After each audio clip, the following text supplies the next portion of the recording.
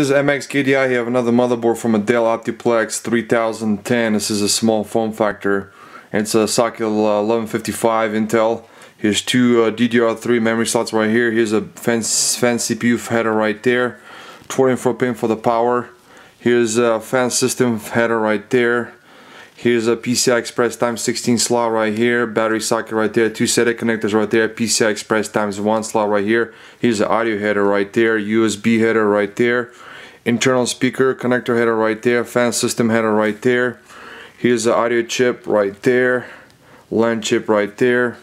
Here's a clear CMOS jumper right there, password jumper right there, intruder header right there, 4 pin for the power it's a look at the back port. Okay, HDMI port, VGA port, six USB 2.0 ports right here, LAN port and audio ports. So this is a socket uh, 1155 from a Dell Optiplex 3010 small form factor.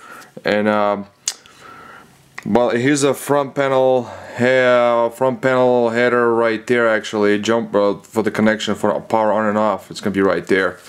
So yeah, guys, this is gonna be it. Thanks for watching. Bye.